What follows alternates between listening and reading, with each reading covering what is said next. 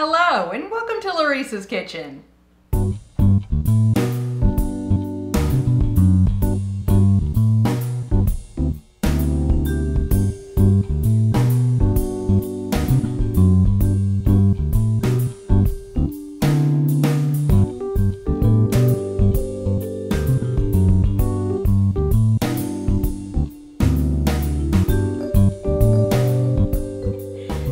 I'm making a classic Italian staple that's topped with nearly any savory topping you can imagine. Polenta is a cornmeal dish used much the same way as pasta. You can buy it pre-made from the grocery store in tubes, but that's just bonkers. Why? Because this is one serving and it's $4. This, on the other hand, is only $1.60 and it's four servings. I know, I know. What about all the other ingredients? Aside from our 40 cents worth of yellow cornmeal, we'll also need 4 cups of water and a teaspoon and a half of kosher salt. And this only takes us about 20 minutes from start to finish. This is my 8 inch cake pan. It's easiest to line this pan with foil if we fold the basic shape with the pan inverted. Remember, the matte side is the nonstick side. Then we just flip the pan back over, set the foil inside, and voila, no wrinkles. This just needs to be sprayed with a little bit of nonstick cooking spray. Like all hot cereals, we can ensure a super smooth and creamy product by adding the cereal to the cold water along with the salt and heating it all together. This prevents lumps from forming.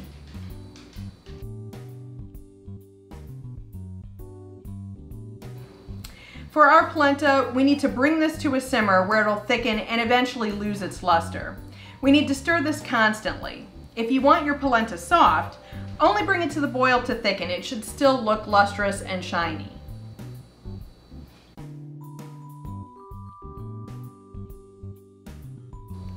We want to shape our polenta, so we need to keep cooking it until it looks dry. This is going into our prepared pan.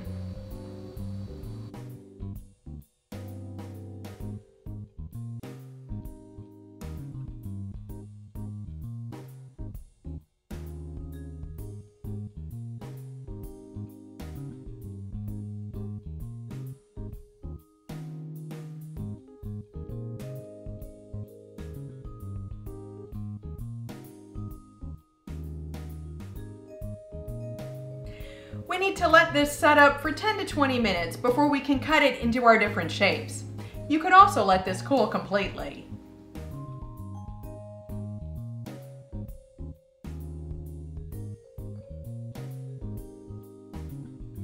Okay, so this doesn't stick. We're just gonna spray this knife with a little bit of nonstick cooking spray. We can cut this in just quarters.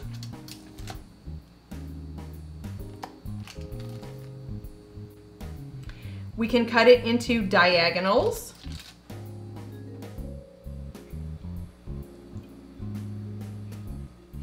We can cut it into fingers.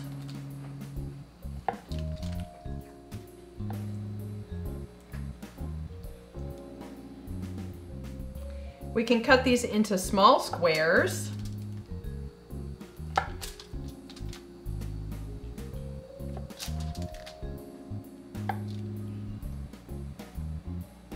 Or if you want to get fancy, we can use a cookie cutter. Now make sure you spray this liberally with nonstick cooking spray.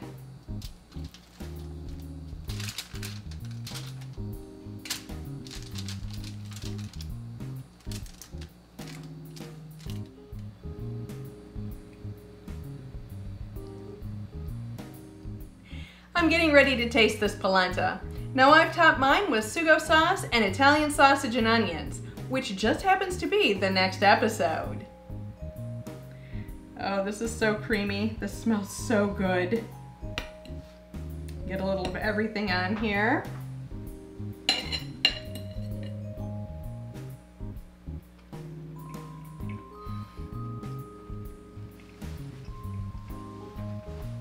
Wonderful. Thank you for visiting Laurice's Kitchen. If you enjoyed this video, give the like button a click and don't forget to leave a comment. We're always happy to hear from you. If you haven't already, subscribe to our channel and don't keep us a secret. Share our videos with your friends and family. You can follow us on Facebook for behind the scenes pics and videos, and on Twitter for upcoming videos and the random cat picture.